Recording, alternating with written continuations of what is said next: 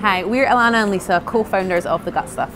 A brand built to empower gut health in everyone. We've been partnering with Lexington to bring our three key principles of gut health to corporates. So introducing things like fibre, 9 out of 10 of us don't get enough, a lot of people don't know what it is. Ferment, so try and fermented foods for your gut health, and variety, so lots of different plants. And we're really blown away by how Lexington kind of took it by the reins um, and the food all looks and tastes amazing. Hi, I'm Stephen, development chef for Lexington, and we're here at the Gut Loving Kitchen where we've partnered with the Gut Stuff. Absolutely fantastic concept, and it's imperative to us as a business. Why? Because it looks after your gut.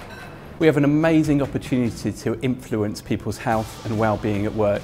We recognise that people spend an awful lot of their time in the work environment and we have a real opportunity to contribute to their health through the work as a caterer that we do.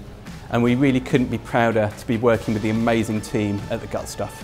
And the food that we've put together here at the Gut Loving Kitchen is a representation of what the Gut Stuff stand for, looking after your health.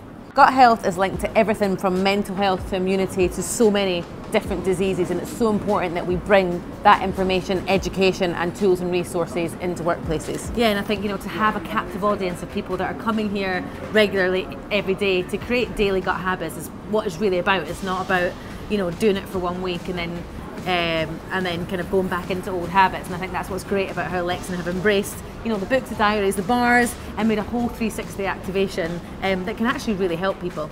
So it's not just meal times that you can experience the gut stuff as well. We've got our high fibre bars, which is a third of your daily intake that you can take back to your desk with you as well. So we're carrying that gut health message all the way through the day and not just at meal times.